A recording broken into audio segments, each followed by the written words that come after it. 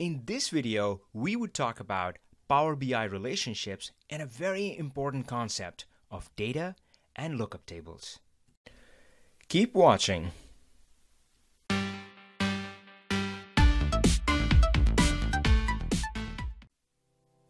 So we're done with the first step in building our data model, which is to get data into the model.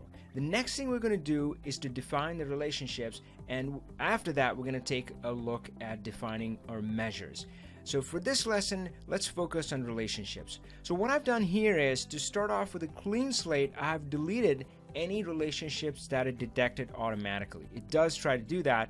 Now, if you uh, if you choose to, you can also turn that setting off by going in options you can say data loading, you can uncheck this option and say, hey, do not try to auto detect new relationships. But I've deleted deleted those relationships. I want to want to start from scratch.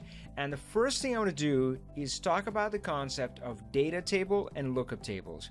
The tables at the bottom here, I've intentionally arranged them here. These are the ones that I refer to as data table, and the ones on the top are what I call the lookup table. Now, data table has a few telltale signs. For one, it's got a lot of numbers and it's got interesting numbers in there like sales and number of units ordered and all that stuff. So interesting numbers which we want to do math on. We want to sum it up we want to find the average we want to find the mix max min all of that stuff right? So we want to do some math on it. So it's got lots of numbers and it's very tall it's got a lot of rows. So sales, depending on the size of your business, could have a thousand transactions, could have million or millions of transactions. That's how tall it can get.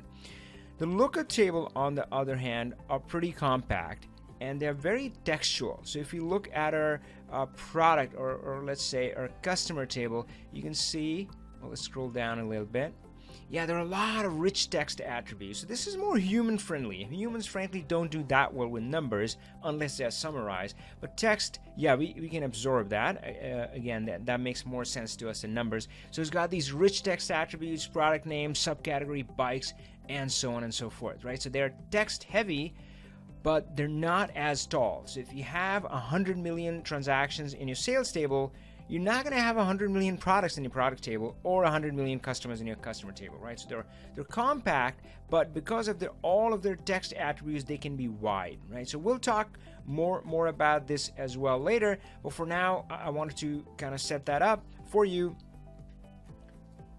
And another way to look at the the, uh, the lookup tables is that they are the who, what, where, when, how.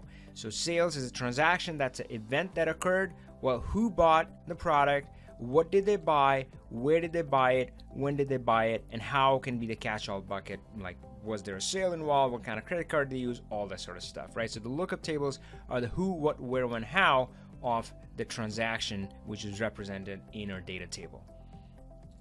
Now let's go over to our report view and we're going to add our first element. So here, this one is really easy and if you work with pivot tables in Excel, then you can handle this. You see the field list, which looks just like the pivot table field list, and often I, I recommend that you start with the simplest element, which is table. That's frankly what I started with.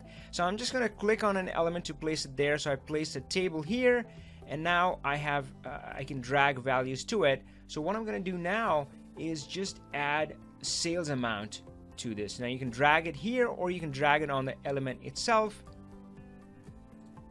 now what it's doing here is actually it's listing out all the sales amounts. And uh, this this may be different. Sometimes it varies. Sometimes it tries to automatically sum.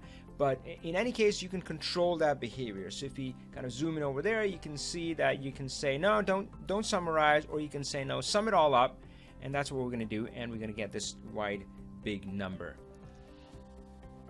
Uh, let me fix the format a little bit. I'm just going to go to Format, uh, Modeling, and the data type is decimal. That's great. I want to keep the decimal places. I just don't want to show the decimal places. I'm going to change the format not show the decimal places. Let's make that a little bit bigger. So that's easier to see. So that's our sales amount. Perfect. And now if I added a product key in there let's see what happens. If I add product key boom you can see the breakdown of sales amount by the product key. So for each product key you can see how much sales uh, total sales did we uh, incur Hey, keep watching more videos and keep learning Power BI. But if you did enjoy this video, I would love to hear from you. So leave a comment, like, subscribe, all the good stuff. Power on, my friends.